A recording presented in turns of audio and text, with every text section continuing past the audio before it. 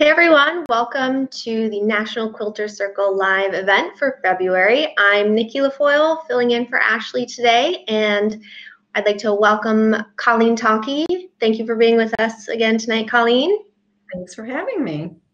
Now, Colleen, um, you just got back from a craft tours trip with National Quilter Circle to Bali. So I'm super excited to hear about what you did on your trip and what kind of quilting you did, what fabrics you learned about. So tell us a little bit about that. Oh, the craft tours adventure with the Bali group was amazing. Um, it's interesting that when you travel with quilters, um, you expand your quilt family so much. Mm-hmm. Now my quilt family reaches all the way to Syracuse, New York, to West Virginia, Texas, up into Canada, and all over California. so um, getting to know all these women while we were traveling was amazing. Um, we left out of LAX. Um, the travel to Bali went through Taipei.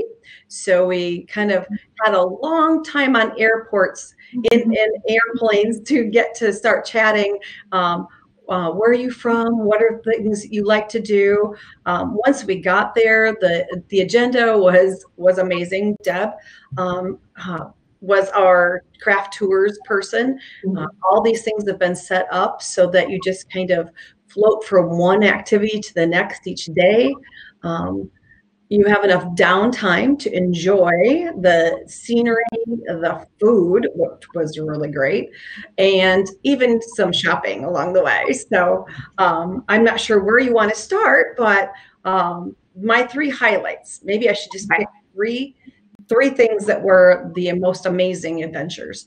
Um, probably the top one was that even my daughter was impressed that I rode on an elephant.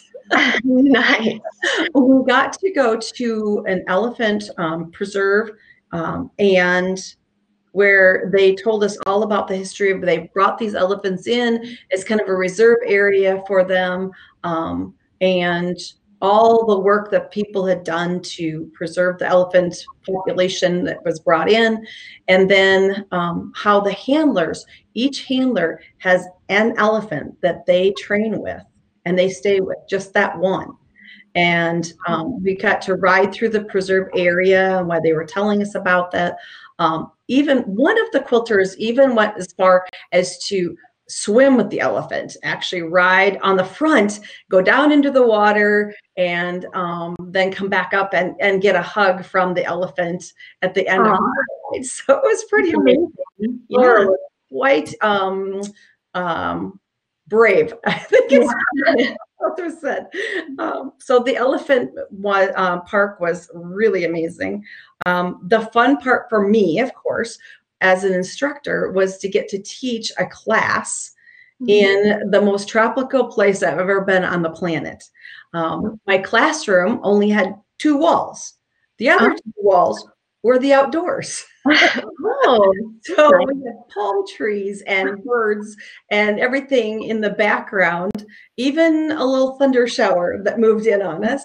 But um, we were um, grouped in, I grouped them in fours because most people were traveling with someone they someone that they knew. Mm-hmm. And so I kind of created an environment so they got to know two other quilters sitting at the table. And we did um, cathedral window which you can see over my shoulder oops on the other side there. Um, the table runner i did in big version but they did um, a pincushion. So it was all done by hand in a very traditional method which is the same way that both of my grandmothers made quilts. Okay. so but they only had to make two blocks. My grandmother's made twin bed-sized quilts. So they learned a little history of the uh, cathedral window block, um, how it came about when it first was identified in the 1930s, and then actually got to make uh, um, a pincushion worth of the cathedral window. Um, it was kind of a challenge because it was something that most of them hadn't done before. I even had one gal who'd never even sewn before at all. She was wow. traveling with her mother-in-law, I believe it is, and um, she was like, "How do I make a knot?" So we got some, we had some really great times experiencing something new. And you know, as quilters, I had a group of uh, probably 23 or 24 of them that came to class to learn it. Um, you know, we we jump in and we help each other. Those who are more experienced, of course, then jump in and help those who are inexperienced. Or I'm stuck on this. Before I could even get there, they were helping each other out. The generosity of quilters is amazing. Yeah, wonderful. so they, they, really had fun doing the cathedral window. Um, the highlight of our trip, though, was the batik factory. Um, uh-huh. we drove into this little area. We had to go um, most of the time we toured by bus and that mm-hmm. would take us in and drop us off. But the area where the batik factory was, the streets are so narrow that we had to go by vans. So we had to split up mm-hmm. into vans to even get into this area. And then um, when we got there, they had it all set up so that the the gentleman who runs the factory, her own the owner, gave a presentation, told us about the batiks and the things that they produced there. And then we got to make our own pieces of batik. Three different styles. Wow. Not one piece, but three different styles. So we got to dye a piece of fabric, which you can see over my shoulder. Like I think here on this side, there's one with purple blotch, kind of purple blotches. My coloring wasn't the best. um, so it's just two color, two tone there. Then there is one that, has, that looks like it has a pink flower kind of in the center of it behind me. That one was a wax relief. They did the wax outline for us. And then we got to select one that was on a frame and we got to paint in the areas. And then they finished it with the drying process and the washing away of the wax. Wow. The, my favorite though, and there were some amazing ones. So you'll have to follow us on Facebook because it's some of the mm-hmm. pictures of people's batiks are going to show up. Um, the final one is right over my shoulder, and that one is a turquoise, but up close it is stamped with wax. So we each got to go into an area to pick out the stamps. They have hundreds of stamps of different designs. Because if you walk into a fabric shop in the batik section, you see a huge variety of um, styles of stamps on things. Sometimes floral, sometimes they're leaves, and those then are, you dip the, the stamp into the wax. An assistant from the factory showed us how to stamp it so we would do it properly. And, and then when we got one row done, then we went to do the second and he would say, no, no. And he would move our hand to make sure the registration. Because if you look at a, a yardage of batik, the stamps are always continuous, like it's been rolled and actually mm-hmm. been stamped with blocks that are in perfect registration to each other. I don't know how they do it. They're amazingly accurate when they're working. Yeah. We each got to make a stamped piece and then watch watch as they do the the washing and the boiling to take away the wax. So we didn't really know what our designs are going to look like because they delivered them to the hotel the next day. Okay. Because the process takes another three or four hours between the mm-hmm. drying process, the boiling process, and the setting process. We were all like, we aren't going to see her all day, are we? like, no, I'll bring them to you. so it was, we had marked all of our fabrics with our name in the corner. And so when they delivered them, you would have thought it was Christmas Day. We all gathered around the table at breakfast. We all mm-hmm. wanted to find our pieces. And some were so surprised. I was like, it turned out way better than I thought it would for well, all the turkeys. yeah, that sounds incredible. The whole experience sounds incredible. And I love what you said about quilters helping each other out. And you had a, a lady who had never sewn before. So these these awesome trips that um, National Quilter Circle, and I'm actually going on one for National Sewing Circle in September. We're going to Ireland, um, so it's it's very inclusive. You don't have mm-hmm. to be a lifelong sewer to go on these trips. You can go to learn and explore and enjoy mm-hmm. not only where you're going, but enjoy the group you're going with. And like you said, create a community and you know lifelong friends possibly too. Mm-hmm. So I love that. And um, the batiks sounds so cool to be able to get your hands on those and see the process and how it's made. Um, so if you are going to be quilting with a batik, um, you know, how is it different to use a batik rather than like a quilting cotton? Do you have to treat it differently, wash it differently beforehand? There, there are some things to, to take into consideration. If it's an extremely vivid color, like a hot pink or a red or a deep purple, some will suggest at least rinse it in cold water to make sure there isn't um, any loose dyes.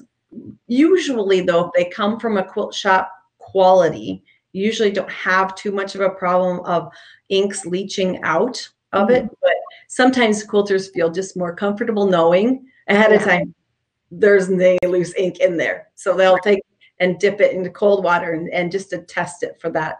Um, the other thing about batiks is because there's so much ink applied and it goes all the way through the fiber, there isn't a right or a wrong side. Okay. So it makes it really fun when you're piecing, you don't have to worry about right or wrong side. Unless, of course, you're linking your pieces together for binding. Because you know, the idea of there's a right and wrong side and your seam allowances are going to show, you do have to keep track of which side you're using as the right, right. side. yeah, that's a good point. Um, cool. So, um, do you have any other points about the trip that you wanted to bring up before we get into some questions people have sent in? Um, the the last part, of course, mm-hmm. which was the other highlight. I mean, there were so many other things that we did, um, but for most quilters, the highlight was after we got to make our batiks, we actually got to shop for batiks. Oh, nice. Warehouse. so we got to go into this big room of bolts of fabric and shop for fabric by the meter. So we had to remember it was going to be a little bit more than a yard, mm-hmm. but at prices that were really, really low, like nice. about a quarter of what it costs here in the States. Wow. So were you able to fit it all in your suitcase? That's a question. I got mine in my suitcase, but I had some friends who had to buy suitcases. I'm not kidding. um, we actually, um, the the craft tours person has an inexpensive suitcase that you can acquire at a resort because there was no way they were going to get it in their suitcase. Yeah. yes. There, there was some extreme shopping going on. In nice. fact, there were a few ladies that took um, when we had free time one afternoon took off and went on an adventure and bought more fabric. So I have some questions here. So we had some questions sent in. First one is about um, about basting. So is it a based a large quilt? So how would you what's your favorite way of basting a quilt and when a quilt gets really large does it change the way you want to baste it okay. When it comes to basting a quilt i tend to go with spray baste. Mm-hmm. um, you can hand baste or pin baste uh, and i've done that. But for me it seems that every time i pin baste a quilt and then i go to actually put it in the machine and start quilting i put the pins right where i want to sew.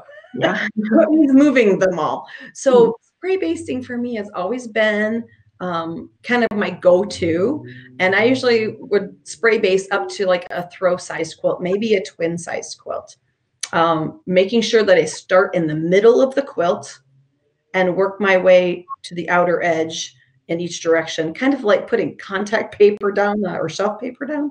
Right. You know, kind of roll the, the sides in and start in the middle and work your way, smoothing it out. And then flip the quilt over and do the back side, same way.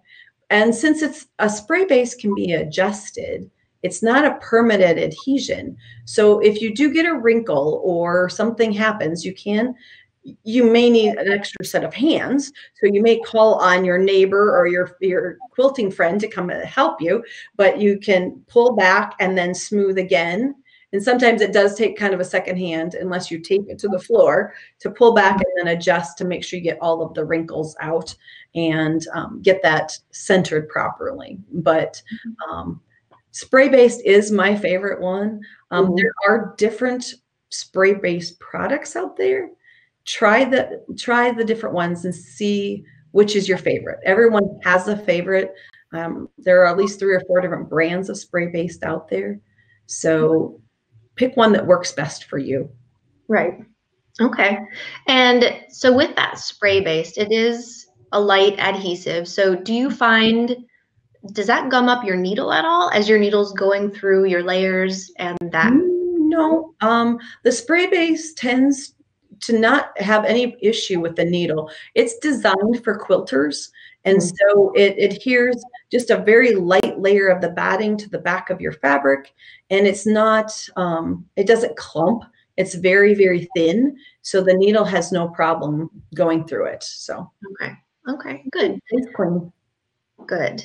And so I'm probably going to ask some very beginner questions as I'm asking follow-up questions because I've I have a sewing background. So I do the um, you know the Q and A's for the Sister Site National Sewing Circle, and I've been adjacent to quilting for my whole sewing career, but never actually quilting.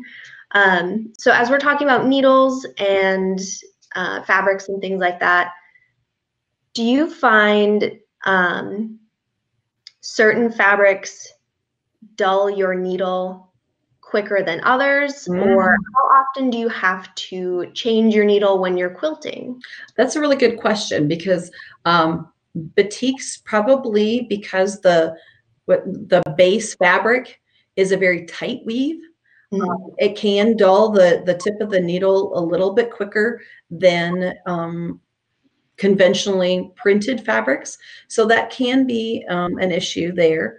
Um, when you're working with batiks though, and you're going to be quilting those, sometimes people say, I want to use a really fine needle.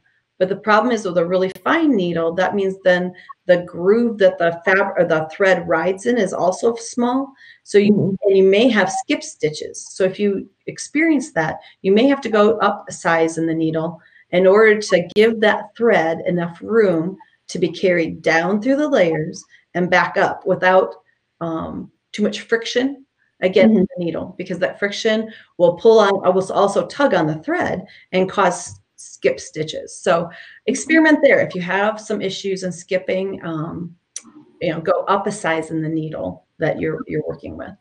Okay. Yeah, that's a, a really good tip and one that I'm going to remember for my sewing too. Um, and with quilters, we always should change needles. The suggestion is that we change needles with every pro, um, major project that we work on. Mm-hmm. Whether or not we always do that, yeah, not actually happen.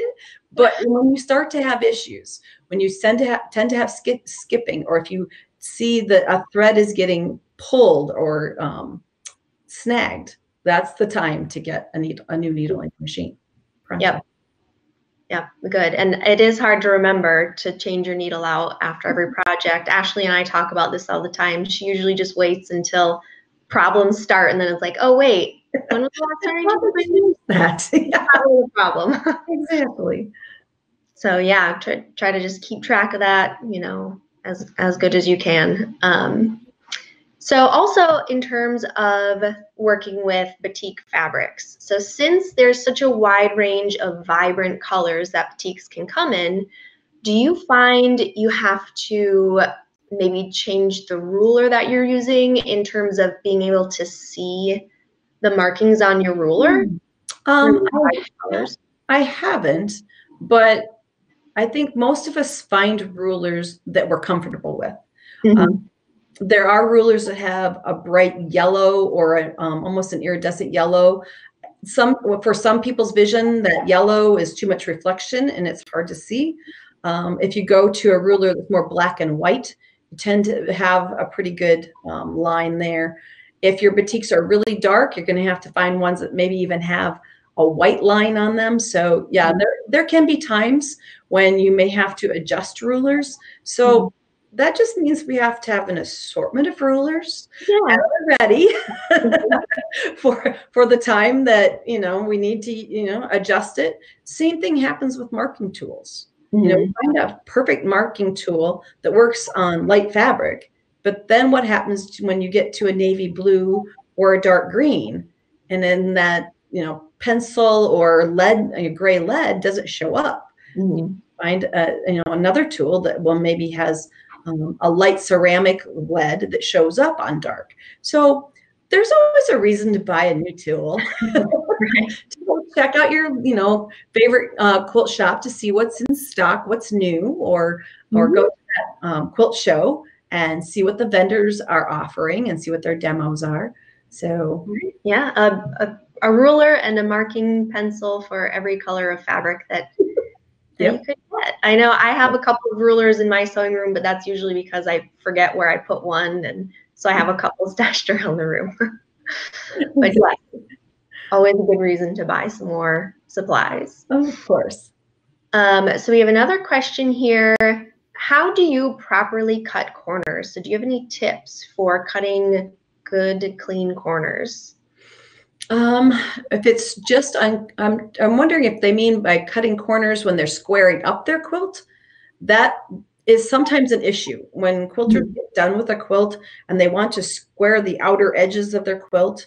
Um, usually using a large square ruler so that you have the most um, most edge possible. But it really is to look at the diagrams, um, see what the suggestions in the in the pattern that you're working on um, suggests on how to cut that. Make sure you're looking for leaving a quarter inch seam allowance on the outside edge, especially if you piece an outer border. You don't want to cut off your seam allowance in the process of squaring it. So um, if you don't have a large, say 12 and a half or a 14 and a half square ruler, you can put two rulers together. So say you have a 8 by 14 ruler and maybe um, 6 by 12. You can't put them together, abut them, tape them together so that you create a nice long corner so right. that you line up and create a squaring effect there. Sometimes when you're working on a quilt and you've got it a little skewed, when you go to put that ruler on there to make that cut at first is really scary because you're thinking, am I straight? Well, the solution is to take out your either a chalk line um, marking tool or a marking pencil. Mark it in pencil first. If you're going to be cutting away some pieces and you're afraid you might not be square when you get to the other end of your quilt, mm-hmm. mark it first. See if it's square. Yes. that way you can do a measure across the quilt in the middle and both directions to see if it is going to end up square before you cut those edges off. Yes. It's, it's kind of one of those, you know, once you cut it off, you can't put it back on. Absolutely. That is scary. So yeah, measure twice, not once. Yes. exactly. And literally counting. I mean, I still do it when I go to to cut even a strip. I'll cut. You know, I'm going to do a two and a half inch strip, and I'm cutting one, I'm counting one, two and a half, mm-hmm. so that I make sure I'm in the right place before I make that slice. Because yep. it's very easy to pick up the ruler if it's one that has full inches on one side and starts with a half inch on the other. It's very easy to invert that. So, yep, absolutely. Talk to yourself. It's okay. Yep, good tip. The cat won't care. Great. So uh, another question here. Um, I'm I'm thinking of entering my quilt into a county fair this year. What should I expect? So have you ever entered anything into a fair? Yes, I have. My first boss um, challenged me to enter um, some quilts at the Iowa State Fair. Well, I challenged her back so that I wouldn't be the only one because I was a 4-H'er years and years ago, and so I've experienced county fairs and state fairs at the 4-H level, but never in an open class and competing with quilters from all over the state who are amazing. Um, when you enter it into a, a, county fair, it may be a little bit different than the state fair level. Um, make sure that you you hit all their deadlines for entering it because they don't usually waive the dates on those. Make sure that you put the place the tag in the area that they have told you to, or they'll make you move it. um, don't some some county fairs may give you some feedback afterwards um, but in, in the state fair here, you might get two or three words, and that would be it. There are so many quilts entered that they will go through and score your overall design, your construction, maybe your binding or your color choice, maybe on a scale from one to five, maybe. So they'll score it there. Um, you might get a couple of words and nice job on binding corners or something. But if it's a large competition, there might not be very much feedback. So just be prepared that you may not get a lot of feedback. Um, when you enter something at a county fair or a state fair, you're really there to share, share your artwork with anybody and everyone who's walking through the fair. Mm-hmm. So um, it, it, at the state fair level, they only give a, like three, uh, four placings, I think. It's first through fourth. And then there's an honorable, a couple of layers of honorable mention. So maybe only five ribbons in one category where there might be 50 quotes entered or more. So the competition is kind of steep. Right. County fairs may not be that way. I don't know for sure how all county fairs run. Um, they may only give out three placings for second and third. So do it as um, a way to share your artwork. Don't worry too much about the competition. And, and sometimes people say, well, I don't want somebody to judge my artwork. When I walk through the county fair and the state fair and look at the quilts, I'm not judging anything. I'm just totally soaking in the artwork. Just appreciating it all. Yes. Yeah. Everyone has a different approach to, um, say, a memory quilt or a baby quilt mm-hmm. or even a quilt of valor, possibly. And I love to see what people come up with. And it's like, it's inspirational. You want to go home then and try out that version because we don't always have enough time to do all the quilts we think of. Yeah. It's nice to see what someone else has been doing. yeah. Yeah, absolutely. It's it's a great way to feel, you know, like you're a part of the community and also the quilting community at exactly. large. So yeah, that I think it's a, a great idea. It's a fun thing to enter your work in things like that. And it might be a great way to inspire someone else to jump in. They they may fall in love with what you've done and see your name on it and ask you questions. You might inspire the next great quilter. Yeah, awesome. So speaking of that, for someone who is not an experienced quilter like myself, who maybe wants to get into quilting, but is kind of maybe intimidated by the scale of the projects, what advice would you have for someone getting into quilting? Well, that's interesting because just last evening, at the end of the day, I was at work at the quilt shop that I work at here in Ames, and I was assisting a quilter who's actually a brand new quilter who was just taking a beginner's class. Mm-hmm. And she was selecting her fabrics and kind of unsure of is, is this going to work together? Go to a local quilt shop. They're there to assist you. Um, they, you know, if if the direction that the, the fabric selection isn't going the direction you want, you can step back and start again. But by taking a class, this gal was taking a class with her sister-in-law. So finding a buddy to start with is kind of nice because that way you have somebody to feel like we're in this together. and I did that. I took a class with a gal who wanted to learn. And Michelle and I started at the same time, and she's now this fancy long armer. Um, but sometimes quilting with a friend like that is a, is a great way to get started. Take a class to learn the basics because there's a lot of things like simply how to use a rotary cutter, um, how to thread the machine and create a quarter inch seam allowance, and how to properly press your seams. Those things will give you so much confidence that then you feel like I have the tools I need to keep going, and that will inspire you.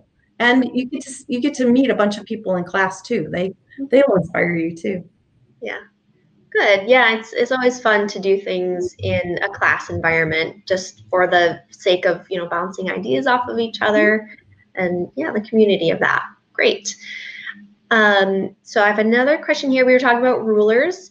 Um, do you have a ruler brand preference? Do you have a favorite um, brand or size of ruler for quilting? Mm-hmm. Um, I actually have two brands that I really like. I like Creative Grids because of the variety of, of um, specialty rulers that they have. And they have built-in grips to the back. They're black and white markings. It's easy and crisp to read. Um, I've really enjoyed working with those. Recently, when I when I started working in the shop here in Ames, um, I was introduced to the um, Quilter Select rulers, and they are um, more of a, a line at this point that square and rectangular shapes. So not specialty rulers eh, per se. But the nice part about theirs is that the back has a coating that is not really tacky, but it's it's got a frosted like back. And mm-hmm. when it lays down on fabric, it doesn't slide. In fact, when I first started working and I picked one up, I'm like, why doesn't the ruler move? and to even adjust it, I had to put my fingernail kind of under the corner and to lift. Mm-hmm. And come to the fact that that as we get older, it's harder and harder to hold our rulers to go all the way across the width of fabric. And sometimes, even for beginners, even for younger quilters, getting used to how to hold that ruler that's in a safe me- method, so our fingers are out of the way, and be able to make a cut all the way across the fabric, those Quilter Select rulers are, are really fabulous for accuracy. Um, they do not shift out of the way. Um, I've had a lot of quilters who have come in and and they're looking for I need to replace a ruler. I chipped the corner or I I was taking to class and I dropped it in the parking lot and it cracked. And and they're saying, you know, what do I start with? You know, where do I go? What do, which one should I select? And I'll usually go to the cover or the counter and I'll pull down three different brands and I'll say try them because you have to like what you're buying. Mm-hmm. So I give them a rotary cutter and I give them a scrap of fabric and they try them. And usually they end up with Quilter Select. now, that's one that they're just like, oh my gosh, I've always had a problem with my ruler walking away mm-hmm. and I'm getting to the far end. And as well, this will do it. this is the one that you can put into your your um, stash of rulers and you'll enjoy using. So. Awesome. Yeah, that's that's the one I've kind of gone to now. So yeah, that's great that it doesn't slide because I have that issue too when I'm trying to rotary cut all the way along a ruler. Mm-hmm. So yeah, I'll be checking that out too. um, let's see, we've got a question here. Um, do you have to do both the piecing and quilting in order to enter a quilt in a fair, or can I have someone else quilt it? That's a really good question. There are usually two categories at the fair. There is a category for you finished it yourself. And then there's a category for team quilting. Basically, you've created the top and someone else has done the quilting. So there are usually two categories, at least at the state fair level, there are two categories that you enter your quilt in. Whether you've done all the, the work yourself or if you're giving some credit to a long arm quilter. okay. Great. Um, now we were talking about favorite brands of rulers. Do you have a favorite brand of sewing machine? Is one better for quilting than another? Or what features do you look for in a sewing machine that are good for quilting? Oh, that's that's tough because I started. I, I own three different brands of sewing machines. Um, I started years and years ago. My graduation present from high school was a Kenmore sewing machine. And it was a very basic machine. It stitches wonderfully. It's all mechanical. So it's an older machine and it works fine. But it didn't have the um, bells and whistles that I was mm-hmm. looking for later. Um, as I got into quilting and away from garment sewing, which I still do some, but not as much, mm-hmm. um, I was looking for three or four basic things. So when I went shopping, I needed a machine where I could have needle adjustment side to side. Instead mm-hmm. of needle always in the very center, I wanted to be able to scoot it to one side and have a little bit more variation there. So needle adjustment side to side.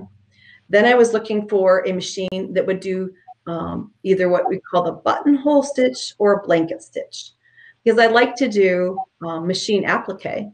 Mm-hmm. And that was the way I like to finish my applique is with a buttonhole stitch. So I wanted that because before that I was doing it all by hand, yards and yards and miles and miles of blanket stitch. Mm-hmm. So that was one thing I wanted, but that's a personal preference.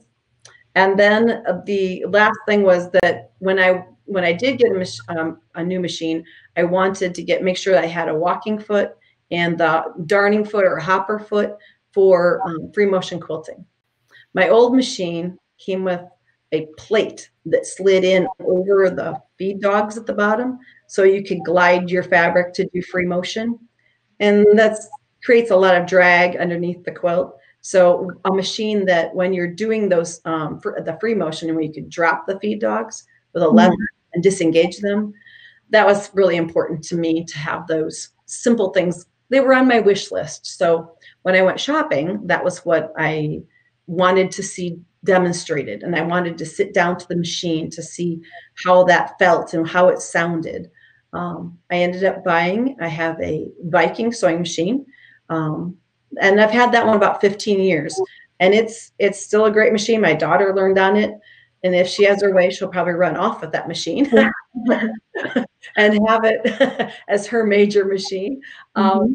But then after I worked with Fons and Porter, Love of Quilting, I was exposed to a whole bunch more brands as we were sitting down to do TV and video there. Um, I absolutely love the baby lock machines. I'm not an embroidery person, but the the horsepower and the capability and the size of the baby lock machines, whether it's the Ellisimo, um, the um, Crescendo, the Destiny, they're all really great machines because they have a lot of um, throat space, easy and really great lighting, a lot of mm-hmm. adjustability. Mm-hmm. but I actually didn't buy one of those because they're so high on my wish list that the brother machine was one that I ended up with, um, which is very similar in the layout because it's kind of a cousin to the baby lock. Mm-hmm. And I really like the, the brother machine that I have now. So okay. it really comes down to when people have asked me that question in the past, I'm like, go sit down and listen to what it sounds like. Yeah. oh, I never thought about that. Just the sound of the machine and how it works and how the buttons are arranged. It has mm-hmm. to be pleasing so that when you sit down, it's enjoyable. Right. So think about yeah. it. Get somebody to demo it. Let you then have have you sit down to the machine and and work at it. It's important. Yeah, yeah. Sitting down and test driving a machine is definitely I found the best way to really get a feel for a machine before you mm-hmm. make that investment. True. Um, follow up question on the ruler. Um, you're talking about the ruler with the sticky back. Mm-hmm. If my ruler doesn't have grip on it, like you're mentioning, what can I add to the back of it to create that non slip feeling? Or can using a ruler handle help me hold it steadier? Ruler handle can can work. It will help you get some um, um, grip on the ruler. There are um, at least one or two products out there, and now it's going to escape me the name of it. It comes in a, a, a can, it's a spray on, it goes on the back of your ruler. It makes it slightly tacky, um, similar to the surface that's on um, the back of Quilter Select. It does over time kind of dry out and has to be reapplied. So that is a possibility. And that I don't think this product's been around for a long time yet.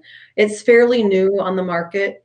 I'm just uh, the name of it's escaping me. But if you ask at a local quilt shop or uh, or, or, even Google spray on adhesive or uh, for the back of a ruler, I'm sure it's going to pop up. yeah, I just I just googled, so I found a product that's called Ruler Magic. Okay. Maybe there's a couple different ones, but I found one called Ruler Magic, and my Okay. My search term was ruler back tacky spray. Mm-hmm. Yeah, I think there's even another one out there, but there's at least one or two out there that people have enjoyed using too. So if you really like the ruler you have, then maybe you can just add that to the back of it and, and make that ruler even last longer for you. Yeah, great. Give it a try. All right, uh, a couple more questions here before we wrap it up. What do you recommend with respect to quilt labels? Are machine embroidered labels a good option and what info should be on them? Hmm. If you have the option to do a, a machine embroidered or, or even hand embroidered um, labels, that's absolutely really nice to do because they don't fade over time. Um, I've usually inked mine. I think probably most of my quilts are not going to be heirloom quilts, um, but at least on the back, I like to um, include who the quilt was given to, the date it was given, if it was given for a special event, and then um, my name as the as the creator of the quilt. And if a lot of really fabulous machine quilting was done, I usually like to try to give credit to the the long arm quilter too because her artistry or his artistry is is part of the quilt too. Right. So. Very nice. And there are I know a bunch of um, you know online resources where you can order your own you know embroidered labels. Um, Dutch Label Shop is one that I think Ashley may have mentioned before. Um, that you can order you know little embroidered labels with exactly what you want on them and just right. sew them on the back. So and you can't even find um, I think in our area here there are a couple of people who create custom labels, people who have embroidery machines who will do custom ones for you. So possibly ask in a quilt shop near you. You might be able to um, help out the economy there too uh, yeah. with someone who will do it locally for you. Yes, shopping local is yep. Always great. um, always fun to have on the back of quilts. yeah. Yep. Um, all right, one last question. What brother machine do you have? The brother machine I have is called the Innov-is QC 1000. Okay. So it's probably been around a while. Um, it happened to be part of a collection of sewing machines that was in the um, Fons and Porter offices when I was there. And um, companies had sent the machines to be used for video and um, demo and things, and they weren't going to be returned. So um, there was a little process by which the machines were all kind of um, lottery lottery drawn, and different people got different machines, and this happened to be the one that I got. So nice. works pretty good. very, very cool. Well, Colleen, I could talk to you all night about quilting but um, we're going to wrap it up. I want to thank you for being here to answer all of our questions. Thank everyone who's watching. And let me just mention real quick at the bottom of this video, there is a banner for downloading a free Irish quilt pattern. It's a fun quilt pattern with shamrocks and interlocking circles. So that's um, a fun pattern, free download to try for St. Patrick's Day next month. So uh, give that banner a click. And thanks again and have a good night.